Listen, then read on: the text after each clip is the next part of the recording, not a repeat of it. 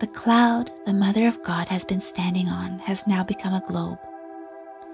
Italy started to get bigger.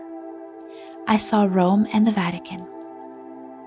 Then I saw an assembly room. A number of cardinals were involved in a discussion. They were discussing the unification of the Holy Mass, the liturgy of the Holy Mass not including the Holy Eucharist. They only wanted to share some bread because many people did not believe in the Eucharist anymore.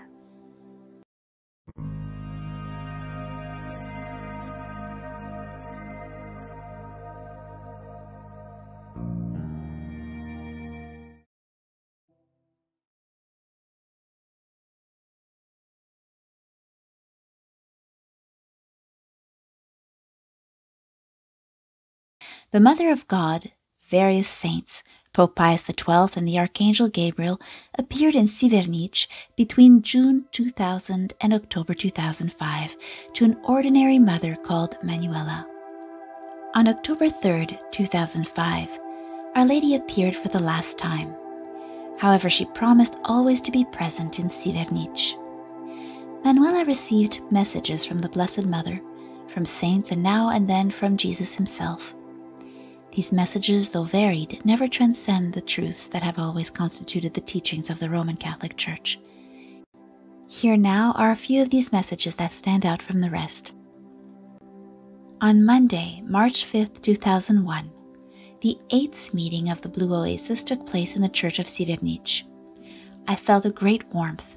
Then I saw the Mother of God descending down from heaven on a golden ray of light.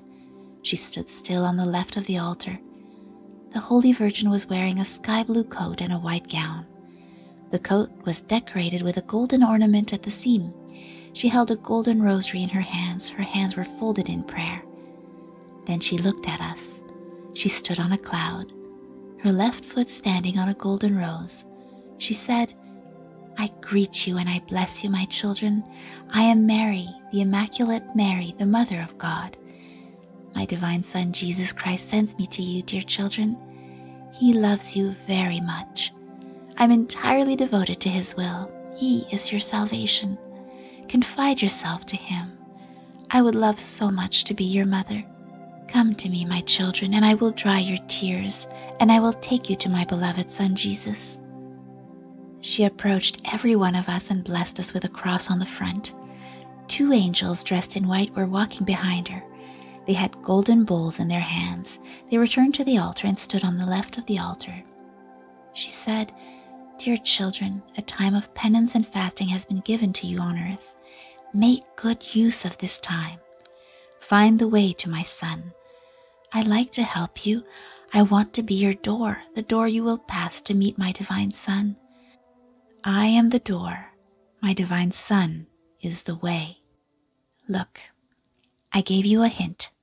It is the will of my divine Son that you accept the work the Holy Ghost does on you, that you accept his healing power, his salvation. Say the prayers that are within my Son and that my Son has given to you. A very personal message.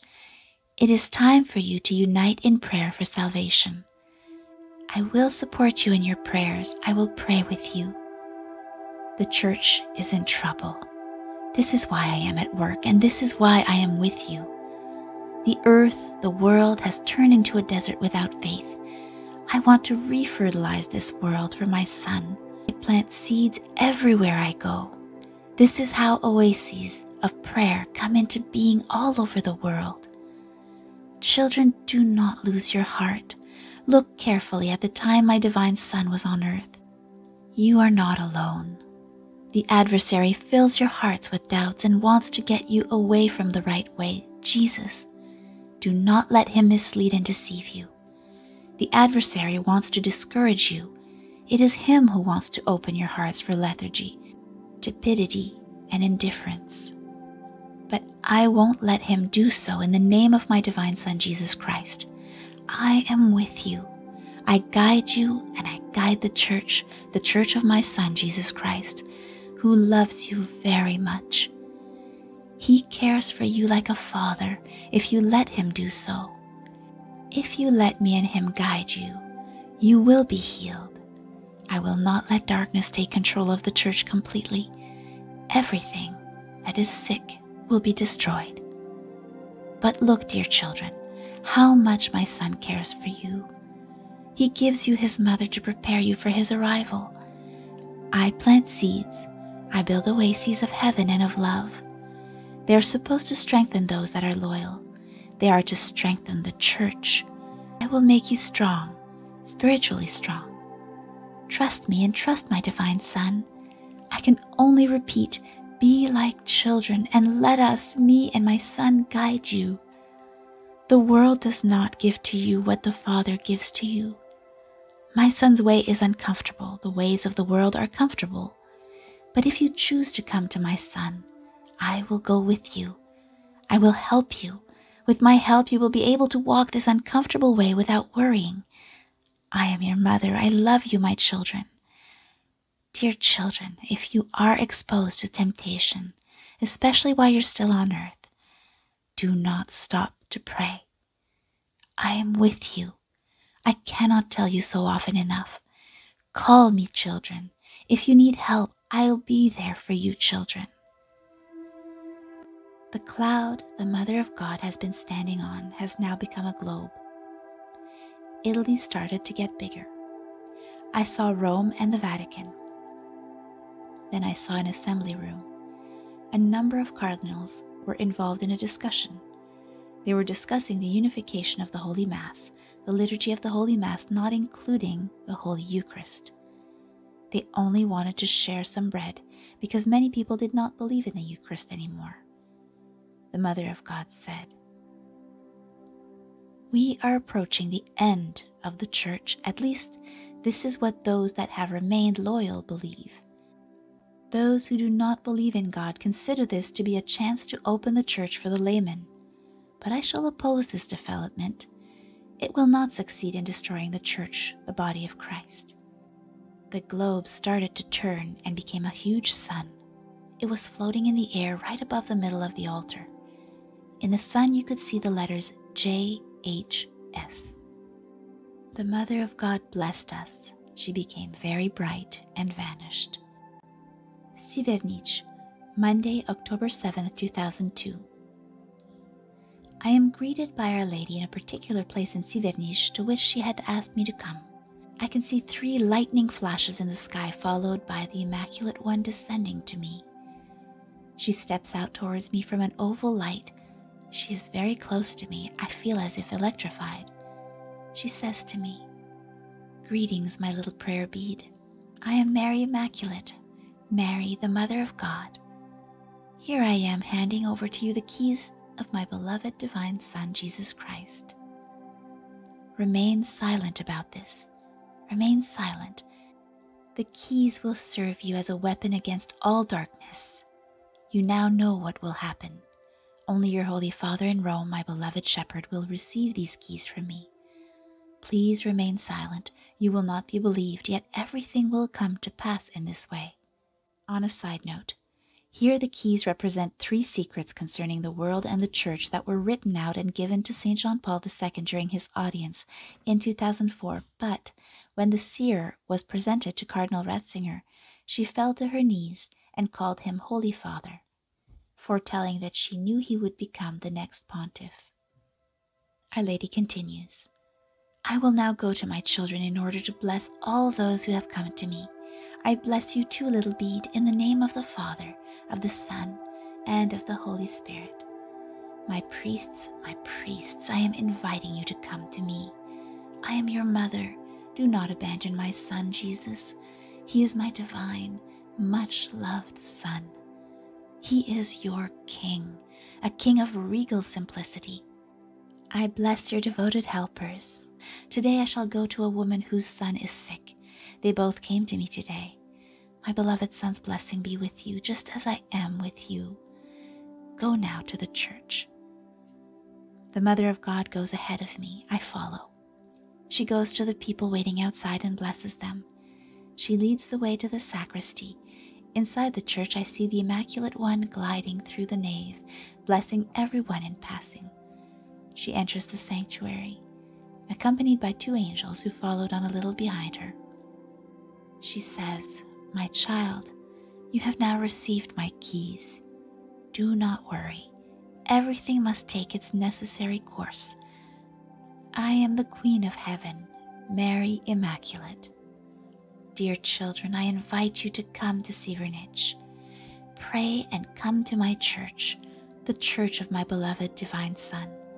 In this church, you receive from me, my beloved Divine Son's graces. I have come to you today in order to heal your wounds. Pray, children, pray. You need only to plead from the heart, and my Son will grant you many graces. Today, a woman here present is the recipient of the gift of peace of mind. This gift from me through my divine Son Jesus has lifted the burden which has troubled her. On December 2nd, 2019, Jesus announced three difficult years. At that time, no one suspected anything about the pandemic, much less about the natural disaster in the summer of 2021 in Germany. He said, I will carry you through this tribulation, through the darkness. By my precious blood I have redeemed them. And he was very hurt by the massive interruption of pregnancies. You understand, right? Talking about the culture of death. On March 21st, 2020, the Christ child said, A time of penance and reflection will strengthen my faithful. For humanity, it is the call to conversion from their sins. If humanity does not convert after this time of repentance, I will lower my scepter over humanity. This is my call for you, not to punish you. I want to save you for eternal life. I have allowed the time for repentance and remorse to come in and consider that they are not God. And on December 8th of that year, the Church decreed a special year dedicated to Saint Joseph. On October 5th, 2020, some 60 faithful and religious witnessed the miracle of the sun while praying with Manuela. And the child made a clear mention of the warning prophesied in Garabandal, which Manuela did not know. He said, When I warn the world, it will be for you as if time stood still, and so you will look at your own soul, reinforcing the idea expressed by Conchita that the warning is a limited punishment. In the apparition on January 6, 2021, the boy told him, The world will be shaken. Because people do not know my eternal Father and want to live without him, everything will be purified. This must be done as written. A great commotion will soon occur, a commotion that will become the abyss for many people. You have the hope that soon everything will return to the way it was before. This, dear souls, will not be so. Pray and sacrifice. Be faithful to me. On February 2nd, 2021, he said, This year a great trial will come, and called for three hours of prayer for reparation for May 13th. He said, Prayer, sacrifice, penance. Pray with me to the Eternal Father.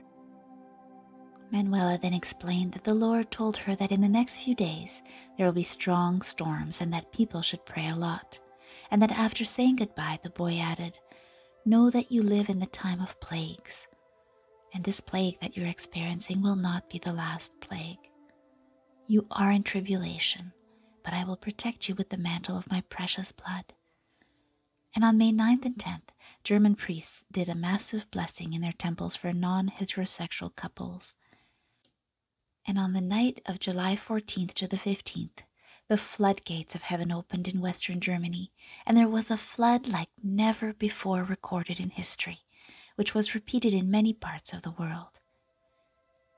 And on April 12, 2021, during the Holy Mass, the child dipped his scepter in the chalice with the blood of Jesus, which the priest held in his hands, and sprinkled some countries of the earth Russia, Ukraine, USA, and Europe and said, Many people are worried about their lives and they don't realize that Satan is trying to lead them to war. This spark of the enemy could light up the entire world. This spark can become a scourge for the entire earth. And asked, Pray, make sacrifices, repent, do good. And on February 24th, 2022, Russia would invade Ukraine.